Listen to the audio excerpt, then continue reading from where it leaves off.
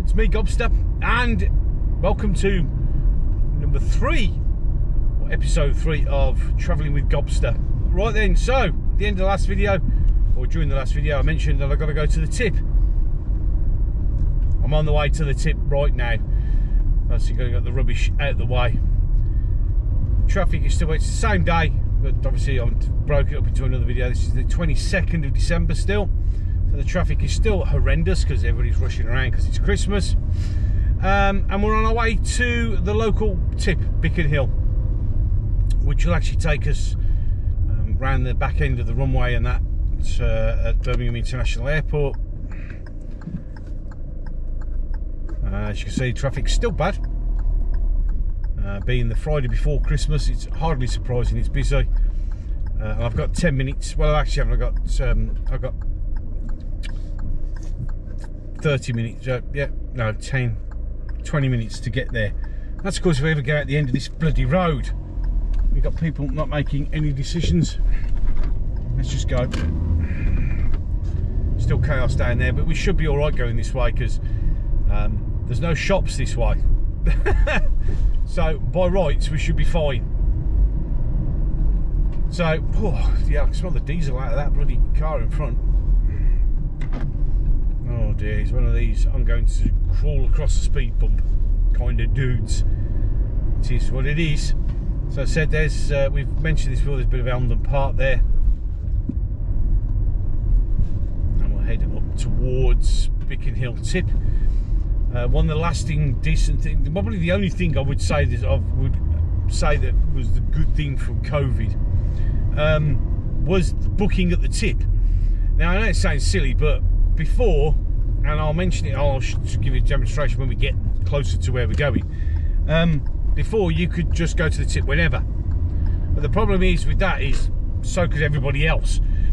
And when we get closer, I'll show you sometimes where the queues would be. I mean, you could spend a good two hours trying to go to the tip. So during COVID, obviously, you know, with all that madness and craziness and stupidity, um, the tip was closed and then it reopened with limited base. But the one thing you had to do was you had to book. You had to say, oh, you know, book at a time when you were coming to the tip. Now, they've kept this in place, uh, you know, after COVID, and I think it's brilliant.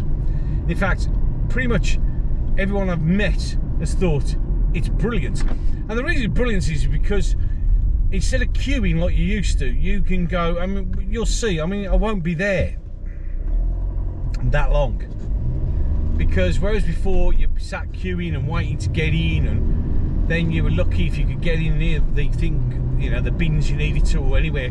My usual one was when I turned up, I'd end up like I'd have like I don't know cardboard, and, and I'd end up, as always, the the, the, the parking bay the furthest from. So, or the worst one was when you were carrying wood big sheets of wood you had to get rid of. Oh, by the way, to your left now you'll see Birmingham International Airport as we pass through. Uh, this is the cargo terminal and the tower, the old control tower. Somebody's in a definite rush to go nowhere. Formula One driver buddy. Um, so yeah, so like wood, you'd end up nowhere near the wood skip and have to break your back to carry it all the way there. But obviously nowadays, not so much. And you know it's just so I mean my, my slots booked at half past 11 uh, I'm, I'm, currently while recording this video it's 11.23 speedy guy didn't get very far. You never do usually. Um, so and I know I get there I get 10 minutes before 10 minutes after. After 10 minutes after I'm too late and I have to rebook which won't be a problem once we get down here. So yeah so right in front of you is the Holly Holiday Inn and that used to be the old control tower terminal building and the beacon that you may see on top which you will when we get a bit further over the top you'll see a glass thing and that used to be Elmdon Aerodrome's uh, beacon that would be lit up so you could find the airfield and that used to be the old building. It's now a hotel. So a bit of history for you then. So right we're on the A45 heading towards Coventry uh, and we're actually now going to be passing or coming alongside the airport now the road where you are now, the A45, used to go dead straight. from here. But uh, when they extended the runway a fair few years ago, data will be up on there.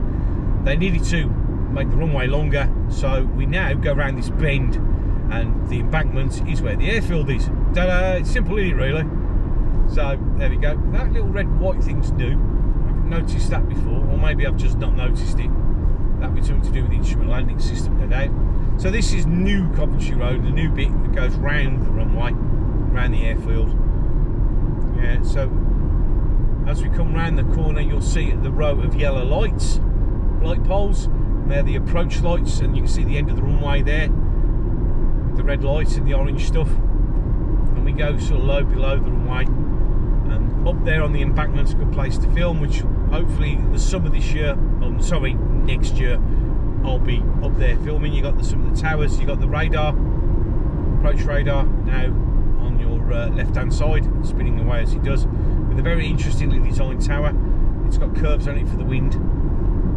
So that's Birmingham Airport. We'll get a better view on the way back. The chaos around on the roads is because of um, they're doing an M42 junction improvement. It probably won't improve you much, but there if you go. And um, obviously, when we go a bit further up, it'll be HS2. Camera there doesn't work, so no worries there. So this screen bridge is a new footbridge that's been in uh, put in place for HS2 and takes you over to nowhere at the moment. Apparently it's going to be like a little park over there, I don't know. So we're now approaching the M42 junction, um, 4A, the one where there's always traffic problems all the time. And the NEC and Resorts World, which will probably you might pick up on the other way back not far now from um, the, the tip, Bickenhill tip, which will appear on your right hand side. The two triangular buildings on the right, which you may have just clipped through the trees, that's the uh, National Motorcycle Museum, which you'll probably get a better view on the way back when we come down the other way, when we go back the other way. Haulage Yard to your left, and then you can see big two towers there in. This is um, the HS2 and over on your right now you'll see another uh, brick tower. Uh, and that's the old incinerator and that's where the tip is. You may have picked a bit of it up on the right. So yeah so you'll now notice on your left a load of um, dirt and stuff. That's HS2 it's also on the right hand side of the road which we'll pick up as we come along but this is all to do with the uh, HS2 the bit that's actually still going to be finished so a lot of um, messing around, dirt and that. So we're now heading towards where the tip is. We have to turn right to this, go all the way around, back on ourselves. And what we got there is you got the Stonebridge Toby Carvery. Uh, that's I think there's a nice carvery there. It's all right. It's, that's that pub's been there for a long time. Yeah. So yeah, so as you were coming down here, this would be this this is the way to Hill Tip from where I live.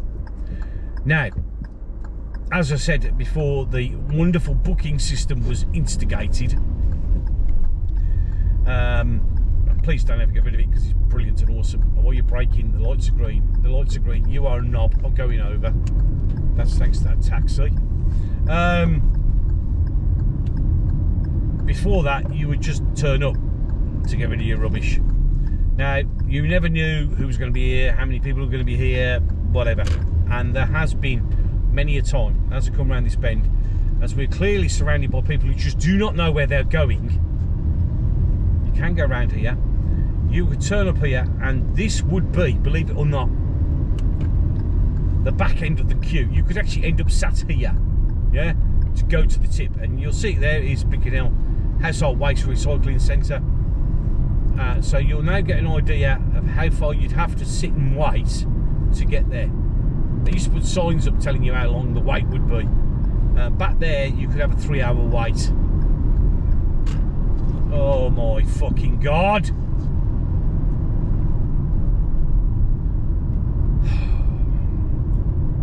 Unless he's going to the um,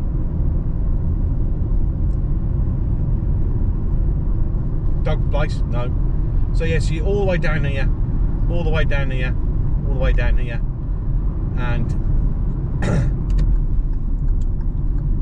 so you get here and then you'd still be queuing you'd have to queue all the way around here That's traffic's where that's where all the uh, you know those inconvenient traffic lights that appear block the road. that's where they come from. So we're now entering the tip. That used to be an old incinerator, no longer used. And uh, here we go. Oh, the top barriers so we've had a big truck in, and then uh, we'll do what we've got to do. It's my friend, so we'll just book in.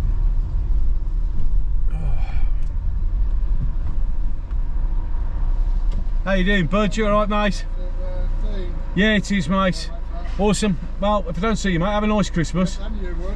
How long you shut for? Two days. Just two days. Crap in it, really. Just really, yeah. right, but I'm, I'm, I ain't too bad for me. I, I work Christmas Eve and I'm back in on the Friday, All right, so ain't not too bad. At least a little bit of a break. I know, yeah. Could have put some holidays off, to be honest. We should have, but it is it is what it is. Yeah, at Christmas time, no, like you said. Yeah, it's mad that, isn't it? Put the cat to scan. Oh well, shh. the privileges of rank. nice one. Have a nice Christmas anyway. See you soon. Now I'm going to see if I can park anywhere. There is a there's a slot here. We can get in. Um, we'll get in here because we can. I think we should. Be. Yeah, there's plenty of room. We've got a mark bay. We'll get in the mark bay. There we go. No problem. In we go. We go out a bit because these bays are at a funny angle. There we go. There we go. Nicely in. Try not to run anyone over. Just nudge it slightly up. That'll do. We're in place. There you go. All done. Took me two and a half minutes. quite busy. To be fair, there's quite a lot of vehicles here today. It is what it is. Bit of a tight turn round here. but You can get round, no problem at all. And away we go. And that's the tip done and might be, I'm not sure, should be the last one of the year. Strange having to say things like that. Well, we say it every year, don't we? When we get around with this time of the year, we do. So, although technically when you're watching this, is the new year, and definitely won't be the last, probably the, yeah, you know what I mean. In any case, so we're on our way back. This all used to have trees down, by the way. They chopped them all down for uh, HS2 or whatever. I don't know. They were going to move it because of HS2 because it, apparently it's too close, but well then, oh, oh, ah, oh. This road's always rough. So yeah, so there's the tip, and we're done. We're now heading back home. We've got some letters to post at the nearest convenient post box. Uh, go past the. And it used to say, as you say, you used to say National Exhibition Centre. You can't get to it down there. That road's closed now, um, so you can't go that way. So as we come down now, we're coming back to, as you can see all on the signs in any case, we're coming back to the M42. The triangle roofs you can still see poking through. There, the uh, National Motorcycle Museum, which you'll see advertised when we get there. There you go, so on the sign. Slow down and stop at the lights. There we go. So you can just see it now, just around the corner where it says sign National Motorcycle Museum, which is also a conference centre. Um, one day we'll actually go around there with the GoPro. Um, we'll uh, we'll do a we'll pay a visit to the motorcycle museum and uh, we can film there. Uh, when I get my extra batteries, because uh, it uses a lot of battery does the old GoPro. Only because I'm uh, filming in super high quality, which is important. Yeah, because I want to get as much good quality footage as I can. Uh, but in the new year, I'm buying um, a charger, a desktop charger with some extra batteries. So that'll help, and I'll be able to do things, go around and film. Plenty of room on the memory card, and everybody's racing. I don't know why. I don't know what the rush is for, but we're rushing. So there you go. So there's the entrance to the National Motorcycle Museum. Um, I'm not a huge, like, like over the top with motorcycles myself, but I think it's something that'll be useful for the channel. It'll be nice if we put that in, and hopefully we'll be able to uh, do some more of these. Now, in the distance, you may see the uh, white things sticking up, look like um, triangles. That's the roof to the arena, NEC Arena, and whatever name it's called currently. I mean, the, it used to be the NEC Arena. I think it's the Utilita Arena, the Genting Arena. They just keep changing the name. I think it might still be the Genting Arena. I don't know. In any case, it's it's the NEC thing where we go to concerts. When we go to concerts. Um, so there you go. And you can also see now as you come round, car park for the NEC and Resorts World, She's popping up there. which has got a casino and gaming thing in, and it's also got a lot of shops. We need to accelerate a bit because we need to go cross out into the road, which is fine.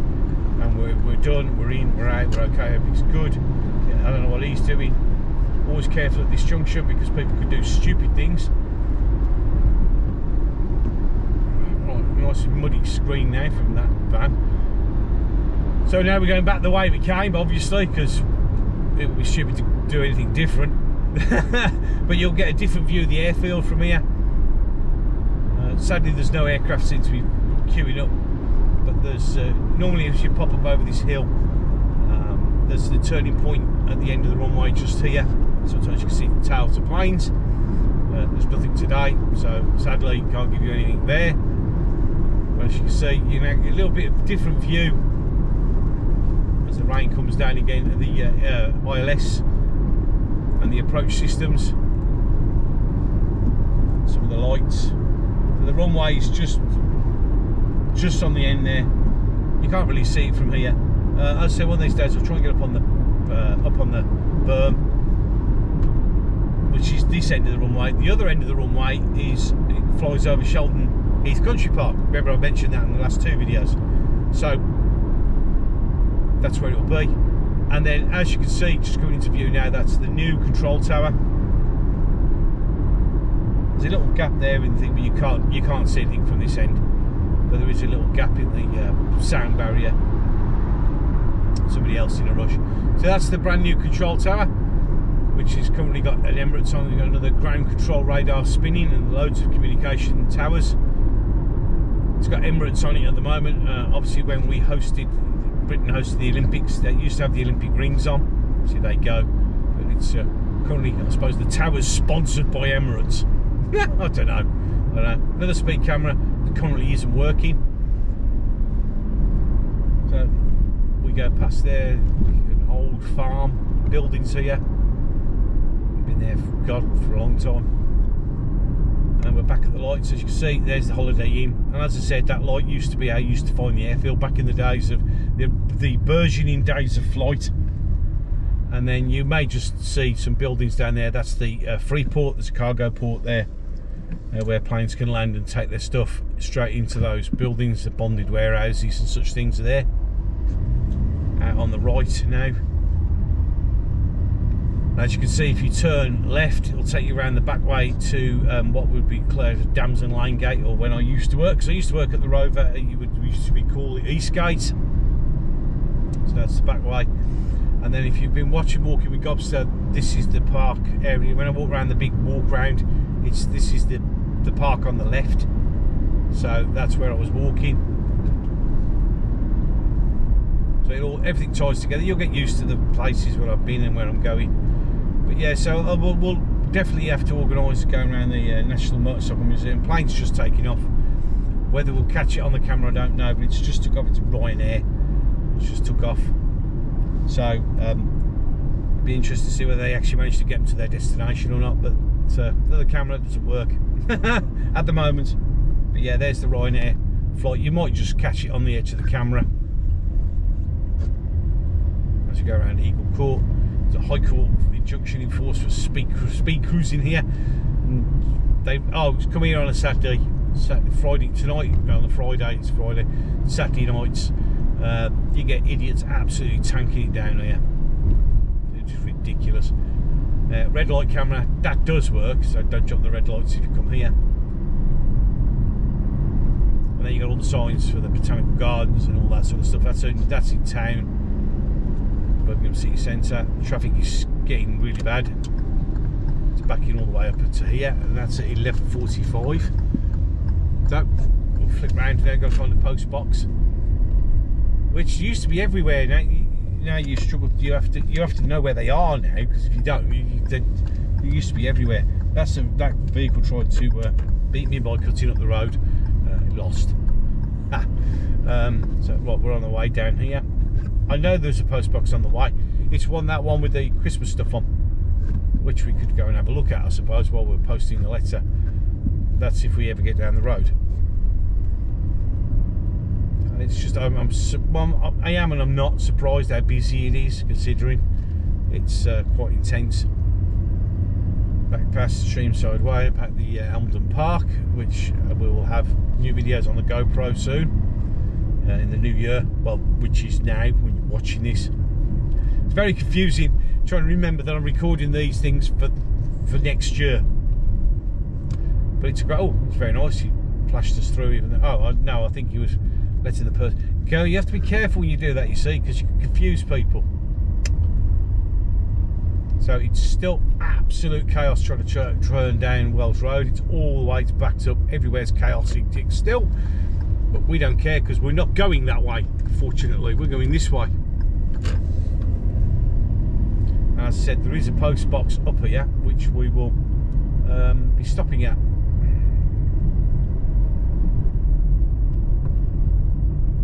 If I can.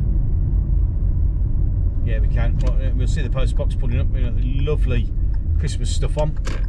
And we're just going to tuck in here for a few seconds. I'm Going to leave the engine running. I'm going to put the old uh, hazardy hazardies on. And I'm actually going to leave you now because I just go out the car. You'll see me go and you'll see me come back because you can see quite clearly. Right, uh, auto stop off so the engine won't stop. Won't take long.